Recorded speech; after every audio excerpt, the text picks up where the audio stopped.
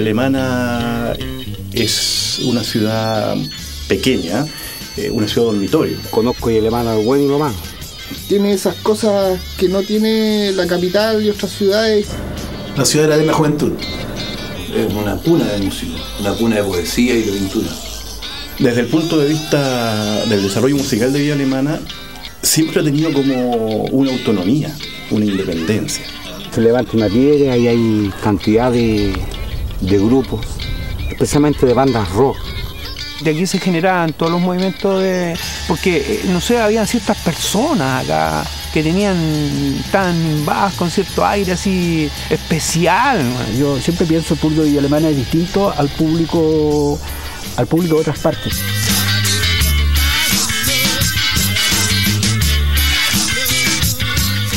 La, la gente de acá era una gente absolutamente comprometida con la ciudad. Era más importante hacerlo que pensar en los atados que podía traer.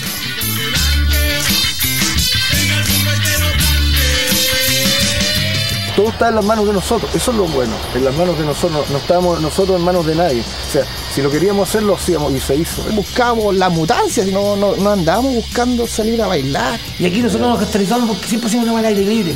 Hay, hay pases físicos y nos gusta así estar en el. Y de, ahí que la mutancia nos ha unido a, todos.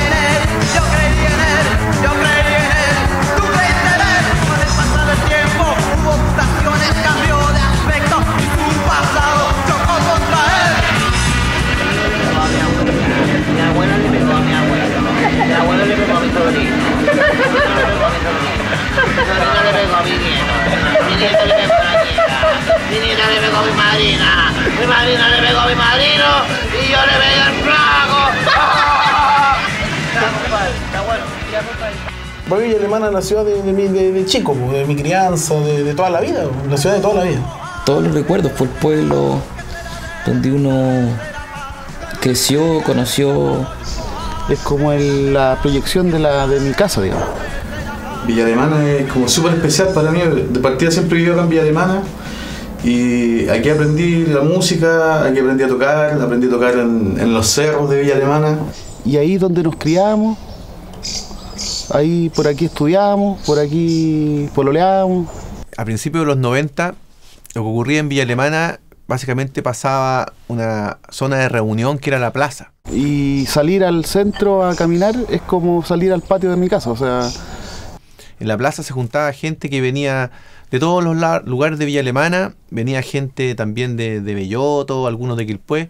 Eh, el centro todavía está dividido, digamos, con el sector taquillero, con el sector ya como más underground que venía de años atrás. digamos.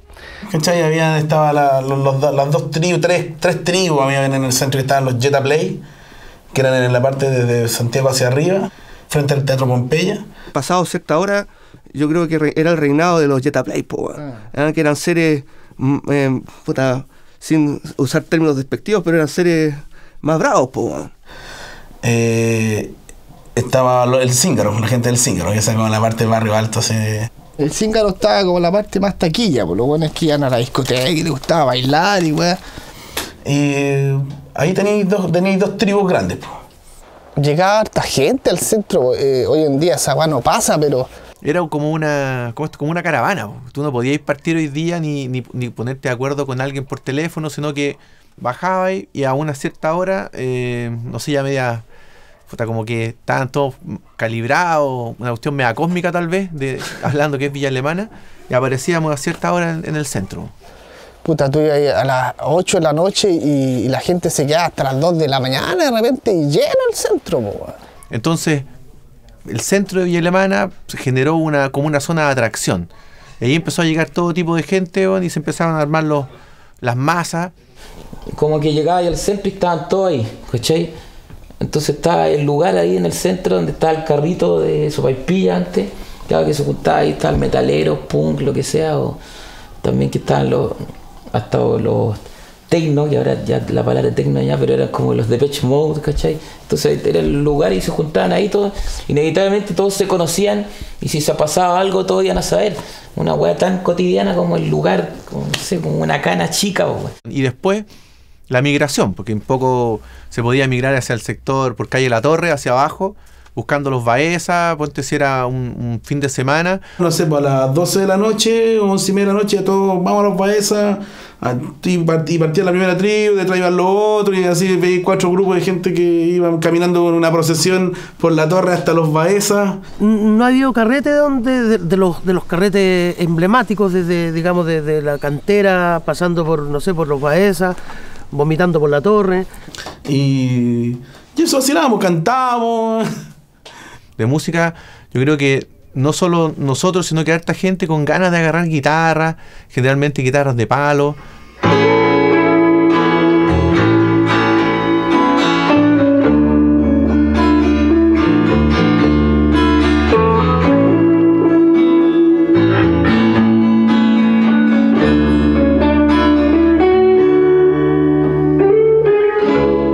¿85?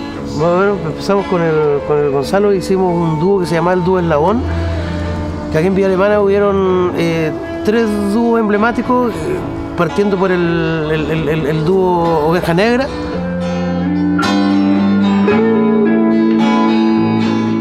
Pero también existió Eslabón y otro dúo que se llama Cadena Perpetua.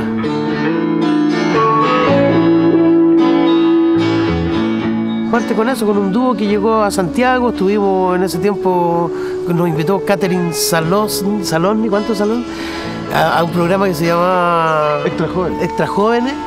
Y llegamos, eh, porque no- eh, tuvimos una, una- un- un- un- un- una movida con el Perincho Cárcamo, llegamos a Tobalaba en los años, imagínate, una cuestión súper extraña.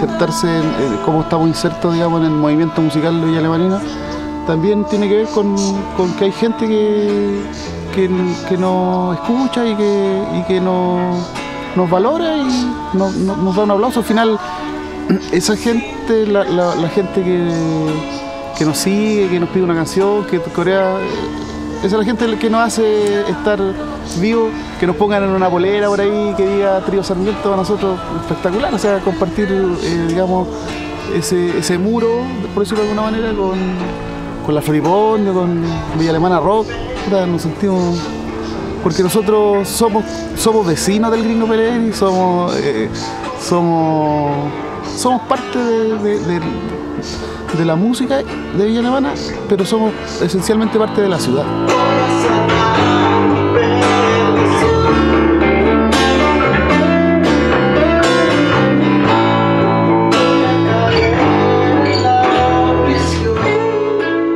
Se fue gestando toda esta, toda esta maquinaria eh, de lo que podía ser el, rock en Villa Alemana, de, en los 90, como decís tú. de que del momento que se fue la dictadura, que se acabó la dictadura, hubo una, una eclosión de, de grupos, de movimientos musicales en todo Chile, pero lo vamos a referir a Villa Alemana, una eclosión de, de grupos eh, rebeldes, antisistémicos, porque ya no podían ser antidictatoriales, ahora se puso de moda ser antisistémicos. Bueno, en esa época los veranos eran tremendamente largos y el ocio y el aburrimiento eh, nos, mm, lo combatíamos, digamos, inventando cuestiones. Era como bastante aburrido aquí de alemana. Entonces uno se, se metía en la música y se dejaba volar un poco. Las pocas posibilidades de lo que te entregaba la radio. Entonces eso era muy limitado y uno, quería otras cosas en cuanto al sonido, en cuanto a la música. No había internet, pues, no, no existían los juegos de consola, entonces tenías que ser súper creativo, en definitiva.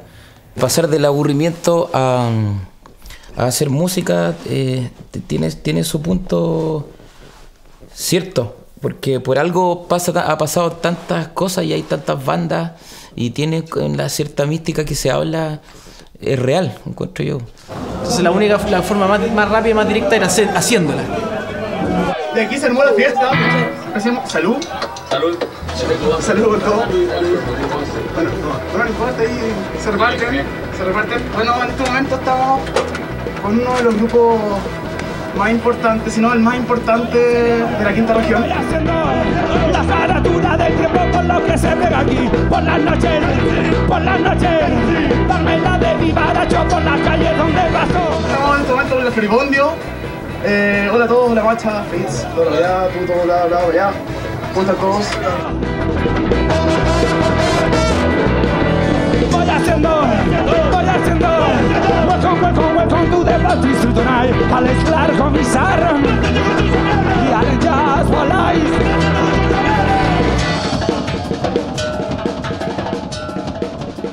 que nos empezamos a juntar a tocar así como a, experimentar y a aprender un poco a tocar. Nos juntamos con el Tuto y con el Macha.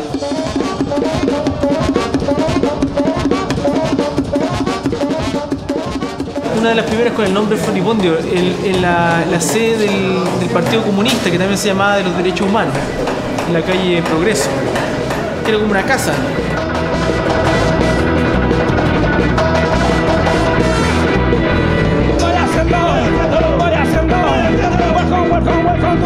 Al voláis Nosotros siempre nos, nos gustó tocar en lugares así como, como para la cagada porque el público era siempre divertido, reaccionaba bien el público.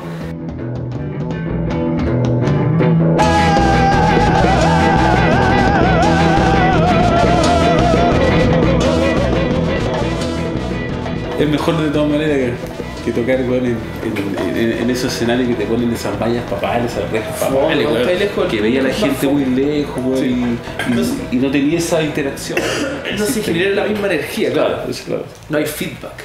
O sea, hay feedback, pero no tanto como cuando tenías los locos encima que le sentía hasta el olor a sobaco. Eso es, es muy diferente. Es agradable. El olor a sobaco. El olor a sobaco es una mierda, pero también te, te aporta con una energía. Porque uno también se lo tira al Claro, claro.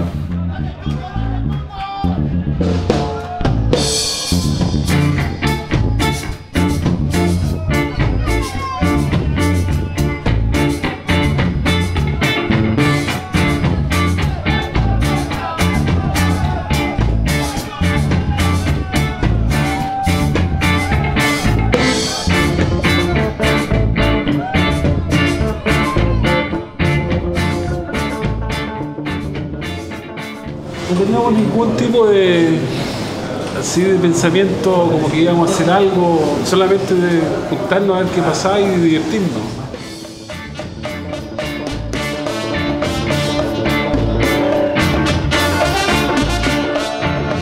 ¿Qué querés que dé cuenta? No sé, por lo que te pregunté, eso de cómo les falla en Europa. Excelente. ¿Qué acogida tuvieron? La, la acogida fue de, de un principio. eh, estaban todos furiosos porque igual lo, lo único que habían escuchado entre movidas de amigos era, había sido eh, los, los discos que ya estaban allá. ¿Ya? Y cuando tocamos nuestro, nuestro primer recital, bueno, estaba lleno, habían. menos ese fue el primero en Alemania. Y fue excelente, la onda que tuvimos que seguir de nuevo así.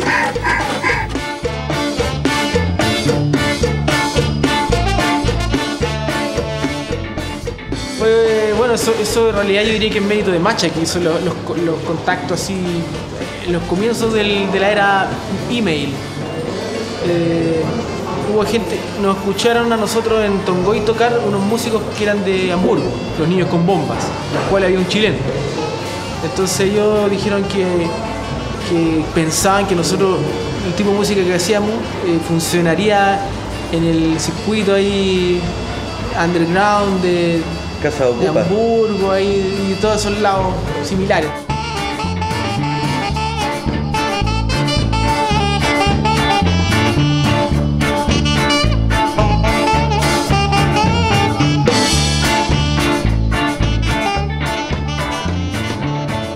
También con un intercambio. Nosotros estamos trabajando en ese te- intercambio y la gente estaba súper contenta de ver a una gente que vive a muchos kilómetros de distancia de lo que ellos hacen. Tenemos un concepto completamente diferente. No queremos mandarnos la parte de absolutamente nada, solamente decir que la gente que está haciendo música en Chile puede, eh, que puede ir para allá perfectamente, o sea, no perfectamente, pero hay gente que si está trabajando su buena música le puede ir muy bien allá también. Tiene que ver con nosotros, tiene que ver con una cosa de intercambio. O sea, in- independiente de que la cosa que nosotros hagamos sea tribal o como la gente nos haya nos clasificaba como wild style, como estilo salvaje o rock per, per, per- per- Había una escena en Villa Alemana y también diría yo en Quillota y Valparaíso. Esos eran como los polos, diría, yo creo. Los grupos de acá, eh, Vía Alemana Rock, eh, no sé, eh, Camión Policía. ¿Quién más tocaba? Estaban los Malasangre. También estaban como en esa época un poco. Malasangre, Belia, el Floribondi, Vía Alemana Rock. Habían bandas punk y, y thrash metal. Es lo que yo creo que yo recuerde, por lo menos lo que más había. De esa época los Kilton, ¿no es cierto?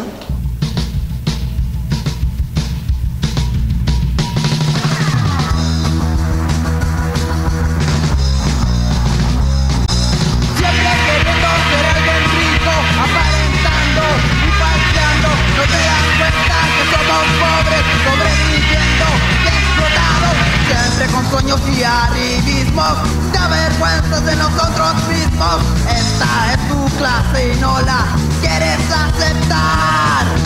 Esta es tu clase y no la quieres aceptar.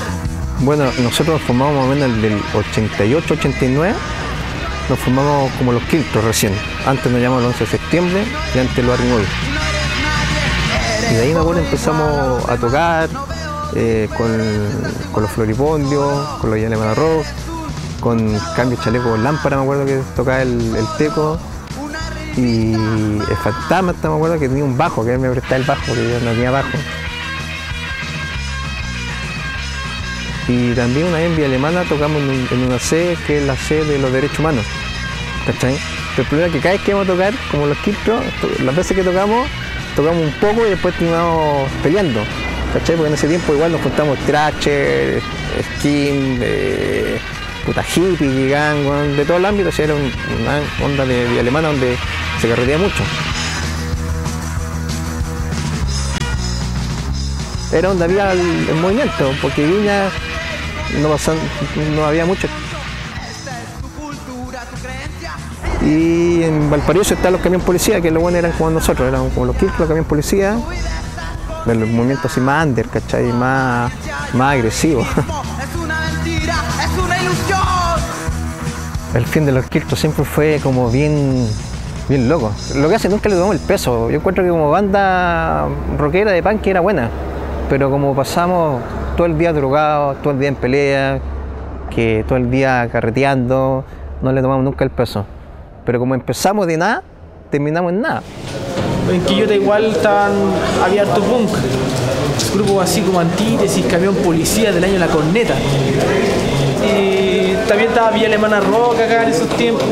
Yo me acuerdo que había escuchado unos demos de ropa vieja, de como de la única banda de Villa Alemana que, que había escuchado algo. Y igual era como. Eso, eh, como que te motivaba a decir, puta, en realidad, si, si ya existe una banda, quizás no cuesta tanto hacer otra y, em- empezar a hacer temas así, como salieran nomás. pues.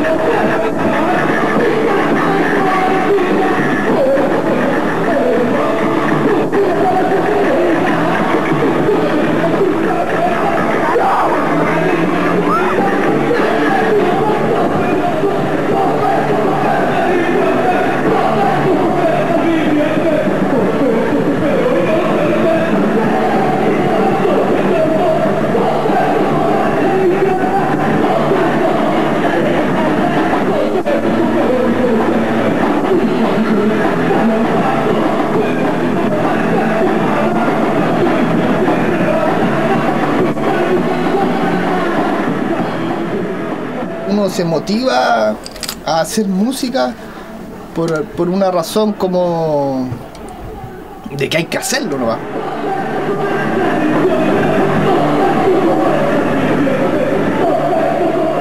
Yo me acuerdo que espontáneamente agarré unos tambores que tenía en la casa, unos tambores folclóricos, y empecé a, como a tocar batería, de ahí le agregué la estufa, un- unos, unas botellas, alambres, cualquier cosa. Y empezamos a hacer temas así de un día para otro, sin cuestionarlo ni nada, y sin tener tampoco ningún referente.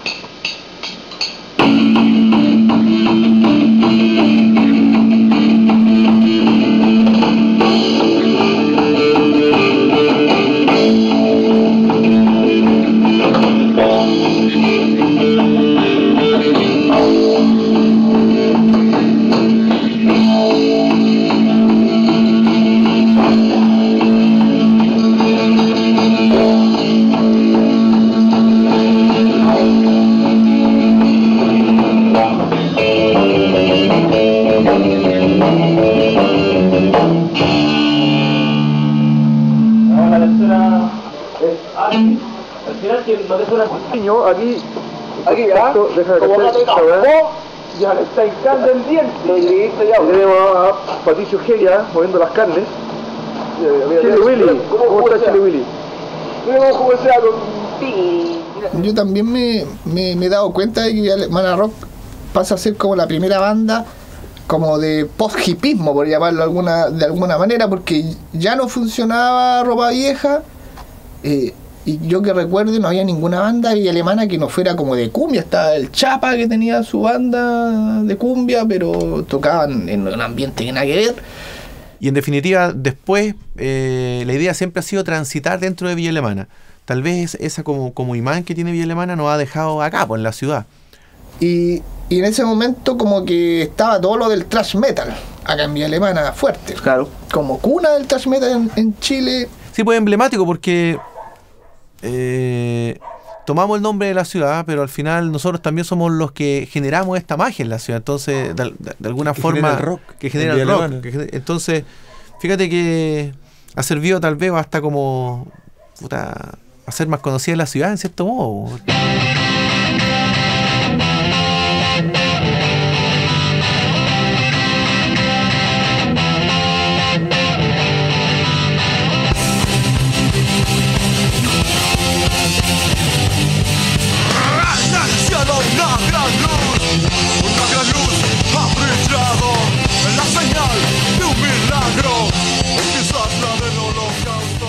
También Villa Alemana influyó en, en esa parte de, de querer hacer como una música extrema, pero quizás un poco más jaranera o más alegre. Más no- divertida, no, claro. No, tan oscura ni, tan seriota. Así. Claro, como bien- pasándolo Eh, bien. Claro.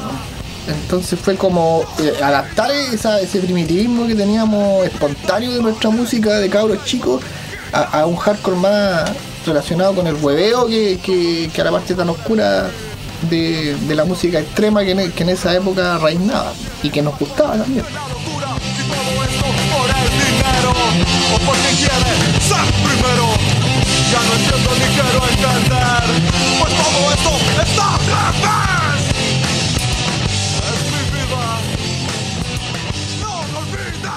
Condoro se genera porque Chagui se retiró de Villa Alemana Rock y em, con Culebra, que veníamos del otro proyecto que era Melancólico Anónimo, queríamos seguir tocando.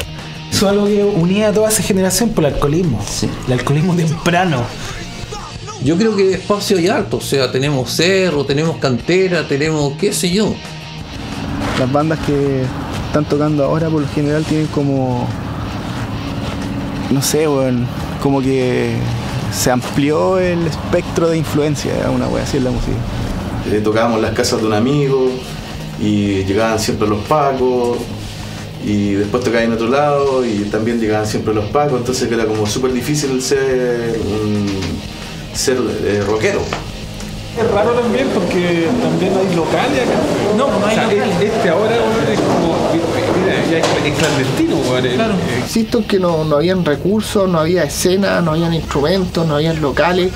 Entonces definitivamente era una agua subterránea.